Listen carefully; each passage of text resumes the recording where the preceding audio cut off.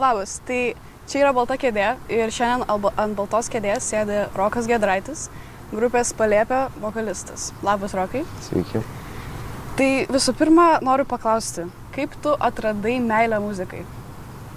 Um, aš tiesiog jos daug klausiau ir man mama yra didelė roko gerbėja, nu, ne, ne vardo, bet, bet muzikos. Ir jinai man parodė labai seniai, gal man buvo kokie 10 metų, ir man parodė tam tos visus bendus. Mhm. Ir aš toks, wow. Ir dar ėjau e, į muzikos mokyklą, kur grojau irgi panašią muziką. Tai tas labai įsėdo ir tada jau Mhm. pats pradėjau daugiau ieškoti visokios kitokios muzikos. Tai gal taip ir kilo tavo vardas, Rokas, žinai. Turbūt. Gerai, tai kas tave paskatino tapti muzikantu ir kas tau padarė didžiausią muzikinę įtaką? Mm, man, aš pradėjau grot gitarą, nes mano mama buvo ka- kažkokiai muzikos stovyklai su broliu ir ten buvo gitaros mokytojas, kuris e, ten grojo gitarą ir mano mama mokino. Ir man vieną vakarą mama paskambino, sako, tu turi čia atvaryti, čia, čia žiūri geras gitaros mokytojas. Ir aš toks, ne, nelabai. Ir da, bet mes išmokom ten dainą, ten tokią. Ir aš toks nežinau tos dainos, bet toksai nuvariau. Ir va tada įsimylėjau patį jausmą groti gitarą. Man, man nepatiko, kad ten, ar ten gražiai atrodo, ar ten, kad daugiau merginų priviliot, bet man tiesiog patiko grot pats jausmas Aha, rankose patiko. gerai. Tai tu vis tiek dabar mokaisi mokyklai. Taip. Tai kaip tau sekasi palaikyti tą balansą tarp muzikos ir mokyklos? Um, mokslai kažkaip padeda, padeda susikaupti ir išmoko visokių bendro išsilavinimo gyvenime, bet visada, kai varom repetuoti ar grot, tai visada jaučiu tokį išsilaisvinimą. Tai kartais turi mokykloje biškiai atkentėti Mm. ir tada, ir tada kai groji, tada labai išsilieji ir, ir tada taip Geras. išsi, išsilygini. Mhm. Tai kaip tavo tėvai reaguoja į šitą muzikos karjerą? E, Tėvai tai labai palaiko, e, mama tai ne, nesupranta žodžių, E, be- bet, bet jo, palaiko ir džiaugiuosi. Jo, tam, jo, labai, Mhm. labai pal- palaiko Gerai, tėvai. labai gerai. Gerai, tai dabar pakalbėkime šiek tiek apie tą pačią grupę. Taip. Tai kaip iš vis susikūrė grupė Palėpė? E, Aš e, grojau muzikos mokyklos koncerte Mhm. ir, e, ir aš mačiau, kad e, kažkas su būgnais gros Nirvanos coverį In Bloom ir aš toks, wow, kietai, reiks pažiūrėti. Ir tada jis pradėjo grot ir buvo viskas taip gražu ir aš toksai, aš turiu jums šitą čiūvą. Ir aš tada jam parašiau ir sako, varom grot. Mes pradėjom dviese grot praeitą vasarą ir tada aš per skrolindamas tik toką suradau basistą mūsų ir, ir jis kaip tik, nu jis gyveno Klaipėdai, bet tada aš jam parašiau, sako, aš už mėnesio krausiausi Vilnių. Ir aš toks labai kietai. Ir mes tada susitikom. Aišku, buvo ten tokių spragų, kur reikėjo Mhm. susigrot vieni su kitais, bet e, viskas labai paėjo ir atradom tą ryšį ir, ir grojom. Mhm. O kodėl būtent grupės pavadinimas yra Palėpė? Nežinau, čia labai turi daug reikšmių. Mes pradžioje vadinamės Attic Rats ir aš tada, ir aš tada pagalvojau, kad e, angliškai pavadinimai man kažkaip ne- nelabai skamba. Ir Mhm. ypač jeigu lietuviškos dainos, kažkaip gal nelabai. Ir aš tik paėmiau žodį Attic ir išverčiau į lietuvių kalbą. Na ir palėpė gali daug ką reikšti, gali ten reikšti kažkokią tamsią vietą, kur ten labai viskas taip e, suspaustai ir taip gali, gali išvelgti visokių dalykų, bet man tai atrodo, kad simbolizuoja tokius naujus atradimus, nes visada, jeigu kažkas turit palėpę, tai tenais yra visokių dėžių Jo, jo, ten jo. ir tada e, tose dėžėse yra visokių kietų dalykų, kurių tu nesimatęs. Ir tada tu po tos daiktus krausis ir toks, oho, geras, čia toks labai Mhm. Jo. smagus dalykas. Jo.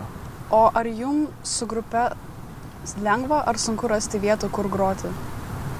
A, apie koncertus ar apie repeticijų Apie studiją? abu. E, repeticijų studijas tai šiaip gan lengva, Mhm. tiesiog reikia labai daug ieškoti, daug, daug, daug tyrinėti. Mhm. O su koncertais tai realiai tai rašyti pačiam vietom, kurie organizuoja koncertus, gal net patiem organizatoriam, bet šiaip viskas eina iš pažįstamų kol kas. Mhm.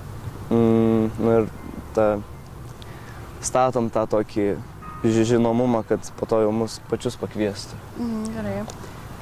Tai neseniai išleidote dainą Vilniaus gatvė. Taip. Tai kodėl būtent pasirinkot parašyti šią dainą apie Vilniaus gatvę? E, čia buvo e, mūsų pirma, pati, pati pirma daina, kurią mes sukūrėm. Mhm. E, ir kažkaip tuo metu labai daug e, maklaudų klausydavau ir man labai patiko žodžiai visi, tokie labai ironiški. Ir aš kažkada ėjau Vilnius gatve ir nu, man tiesiog labai nepatiko ten, nu, atrodo visai graži senamešio gatvė. Ir Aha. taip ją visi su, supiso tiesiog, kad, nu, tipo, ten dabar ne, negražu ir labai nefainai. Tai ir todėl taip pagalvojau, kad reikia parašyti tokią o- Mhm. odę džiaugsmui šit- šitai gatvė. O ar buvo sunkus įrašymo procesas? E, šiaip e, istorija, kad e, man tą įrašą per kalėdas mama padovanojo pas e, producerį Jurgį Masulinį. Mhm. Um, ir mes tiesiog nuvarėm vieną dainą įrašyti ir buvo žiauriai smagus procesas, viskas labai gerai gavosi, uh, ten labai eksperimentavom su gitarom, buvo labai daug, daug, daug gitarų takelių, bandėm ten ir su vokalais, dar ten dėjom pabaigoje ten tos visus samplus, ten Vilniaus Mhm. gatvės, myžimo garsų, tai taip ir visai, visai smagiai gavosi. Aha. Gerai, man yra labai įdomu, ar žadate su grupe greitų metų kurti dar naujos muzikos? E, Taip, e, dėja, mūsų basistas išėjo ir mes dabar Mhm. turim naują basistą. E, Tai dabar su juo pradėsim kurt, e, e, pradėsim kurt naujus gabalus ir planuojam, planuojam dar įrašyti albumą kažkaip. E, Irgi ten gal kažkaip eksperimentuosim, bet norim, kad gautųsi taip gerai, bet, bet Aha. ne, nenorim daryti tos tokios labai popsinio varianto, Aha. norim tą tokį, tą tokį trešį, gr grungy sound Mhm. išgauti. Jo, jo. Tai va, e, jo, bet, bet kuriam, kuriam Gerai, jau gerai. pabiški. Tai laukiam. Tai visai neseniai, ar jaudinaisi, kai apšildai jauti? Uh, iš tikrųjų, jo, bet aš to nerodau dažnai žmonėm. Bet aišku, buvo to jauduliuko, kaip prieš kiekvienus koncertus.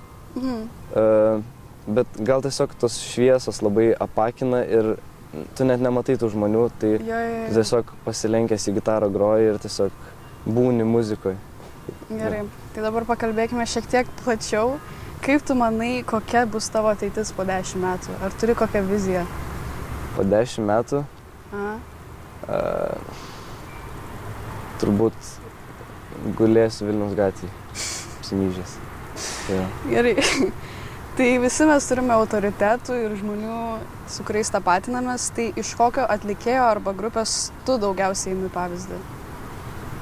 Nu, čia tokio specifinio gal nelabai, Aha.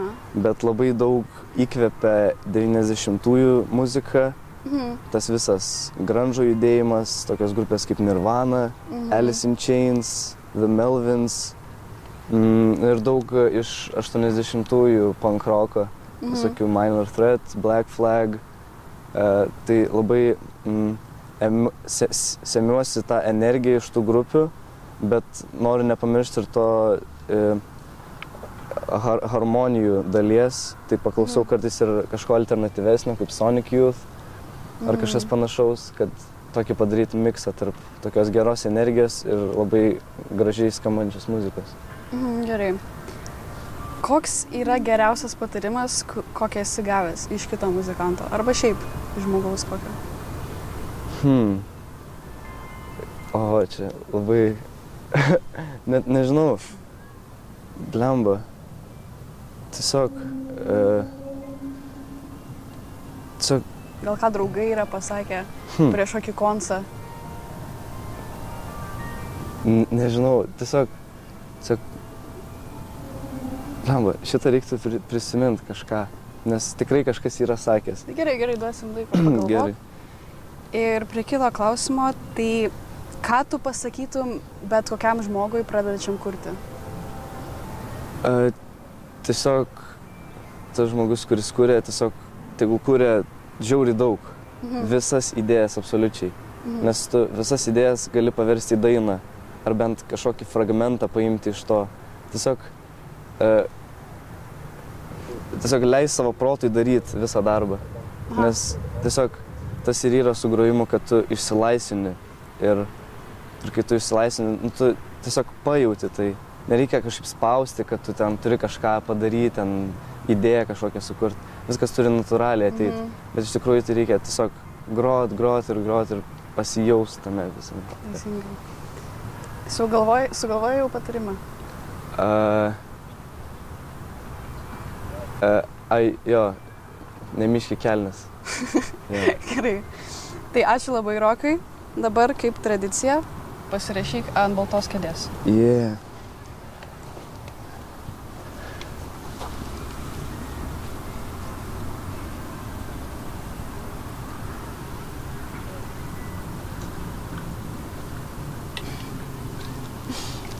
Ačiū labai. Ačiū Jums labai. Da!